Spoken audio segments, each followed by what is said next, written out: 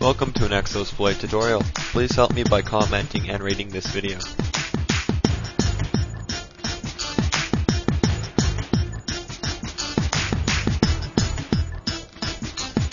Hey guys, this is a, continuation of the last tutorial I did. Uh, I'm going to be showing you now how we can add multiple email addresses because there's some extra configuration you need to do to get them to all function properly. So I'm going to add a second email address. Alright, so this one here can send and receive emails fine, but uh, what I'm going to do is create a new account here.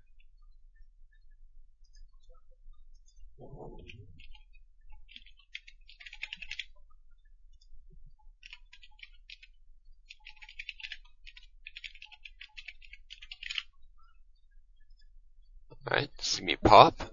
Now this is a Hotmail, so I'm going to be doing a setup for Hotmail.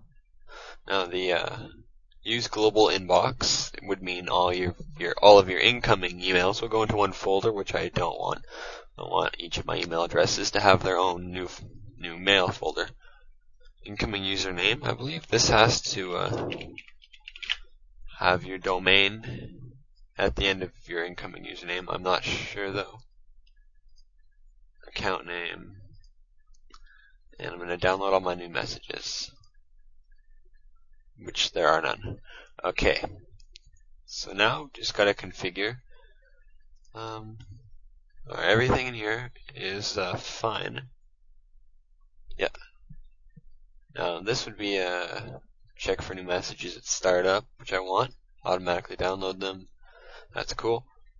So we're going to need to create a new SMTP configuration for my new Hotmail. As you can see, the one I made for my Gmail is default, which won't work with the Hotmail.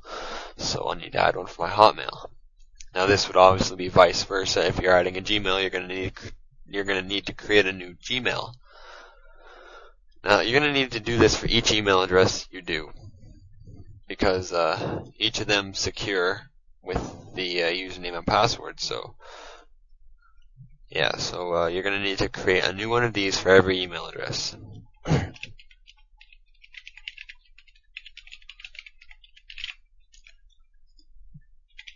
localhost.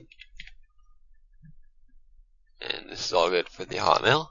Now we're going to have to make this uh, this new one here the outgoing SMTP server. There.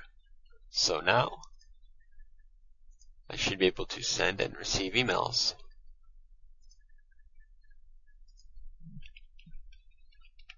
I'm going to send one to myself. Alright. Delivering. Successfully sent.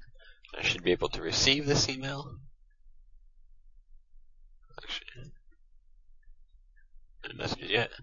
Sometimes it takes a little while. Uh, this you can check each mail individually. Alright.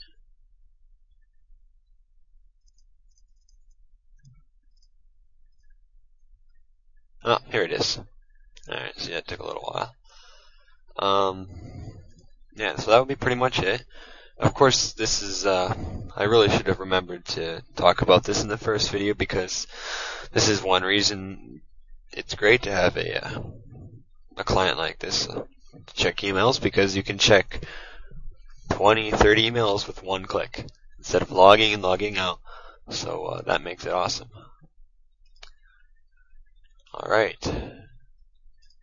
Uh, that's pretty much it. So uh, if you have any questions about adding a, uh, an email address or maybe even just configuring your first one, just uh, leave a comment or send me an email. I guess you know my email address now.